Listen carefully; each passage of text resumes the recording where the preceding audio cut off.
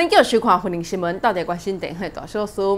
为了要让新婚大师的智慧，当帮助大学生真正家己，福光山婚姻讲堂伫河北科技大学老师的协助之下，关进新婚大师专册予河北科技大学，学校嘛特别来设立专区，予学生前来阅读。希望透过大师对人生的看法，会当提升学生的品德以及智慧，并且把这份的善良力量推广出来。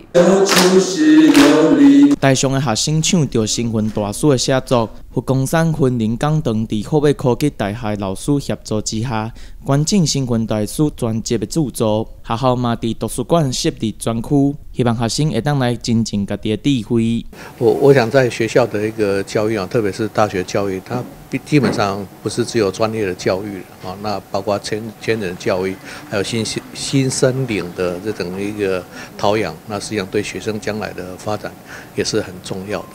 那很感谢，就是说这次。这个惠德华师这边总编这边哈捐赠这样一个全套的新闻大师的这样一个著作，那我们希望在图书馆建设这样一个专区，能够让学生在有空闲的时候哈，在呃课余要能够了解一下这些大师的这些言语哈，把他的一些精神哦，把它生活化。这边完整的专辑总共有三百九十五册，嘛有世界宗教艺术的相关书籍，就着关正学校把大师的智慧推广出去。因为这是收录了大师从一九五零年到二零二二年的七十二年的一生的重要著作的精华篇章，所以可以说是大师一生弘法全世界的重要的成功宝典。所以呢，不管是有没有信仰，有没有在佛法领域里面的参学，那你一定可以在这里找到你生命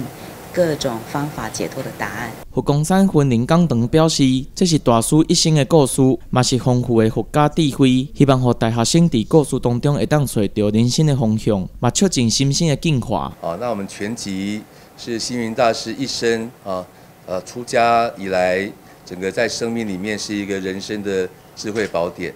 哦，所以我们今天到虎科大来，啊，我们希望说虎科大的同学可以把它当做是生命里面的一个加油站，来看到星云大师一生所呈现的文字波瑞，啊，来丰富我们的人生。那不光是佛学性的，还有很多是在我们生活里面非常实用的。透过这边的观景，不只是把大师的佛法传承落去，嘛，让学生会当学习当中的智慧，把这善良的力量推广出去。记者陈家新采访报道。